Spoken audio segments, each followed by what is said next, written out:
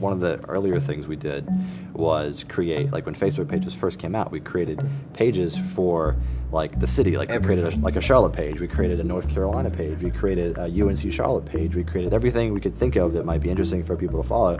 Some of them didn't catch on, like uh, Rogue Helicopter Pilot. I'm surprised nobody really bought on that one. But like Charlotte caught on, and North Carolina caught on hugely. For the longest time, we ran like the North Carolina Facebook page. At, at its peak, we had like 125,000 followers.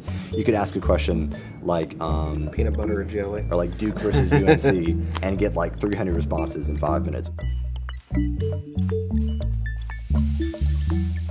My passion lies in food activism and food blogging um, and, and how it relates to um, what the ingredients are, um, what are the different chemicals that um, are involved in food making processes, and how to eat the healthiest things on the planet.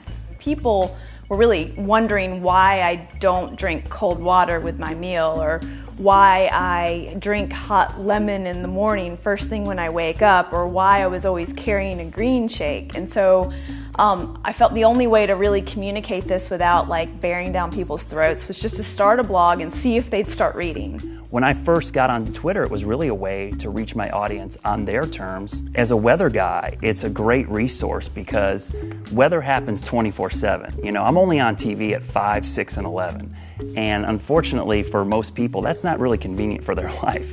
If you're on the lake on the weekend or you're at your kid's soccer game at 7 or 8, I'm not on TV, you're not in front of the TV to get weather information, and there may be storms coming. But the flip side of that is it's been a great resource for me because now I'm getting reports in from the field. As a meteorologist, we have great tools. We have Doppler radar, we have satellites, but still the human eye or the spotter, like what's actually happening, is still really vitally important. So my followers on a severe weather day end up being very important to me.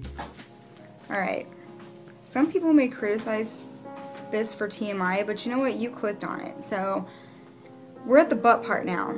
And if you don't know what the butt part is, I suggest that you go Google what a Brazilian wax actually is. I own my own business called Shannon Dawn Media. It's very multifaceted. I started out as a social media manager, but it kind of ended up being more as like a personality thing, uh, hosting events, and kind of a Twitter whisperer where I coach people, businesses, and uh, personalities, bands, pretty much anyone who's interested in expanding their buzz and reach. I make sure that my personality shows through those things that I do. And I feel that if people get to know me digitally, then they will be interested in what I'm doing. That way, I can network myself to businesses and kind of teach them how to do the same thing because nobody wants to click on a boring link. People want depth. I just actually retweeted um, something from my company's um, Twitter account, and the subject matter was how to say thank you on Twitter. And I think it's something that we always forget. You know, whenever somebody's interacting with you, whether it feels like a gift or doesn't feel like a gift, there's always time to thank somebody for reaching out or for mentioning you. A fan contacted me on Facebook and she was going down to Destin, Florida. And so I sent out a tweet asking all my fans to send her a message um, of where to find natural food stores.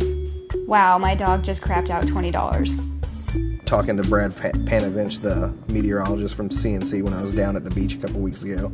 He's great because all I have to do is tweet him, and he'll tell me the weather forecast wherever I am. He's telling me about uh, when the hurricane was coming up to Hilton Head that I shouldn't be worried that there were scattered storms, so I can still go to the beach. I tweeted out severe weather threat for today. There's a small threat for severe storms, and a lot of people um, asking about the timing. And most of the time, I you know replied. I tweeted, you know, who loves gazpacho? I'm making this tonight and sent out one of my recipes. I got a picture of a melted mailbox from Kentucky.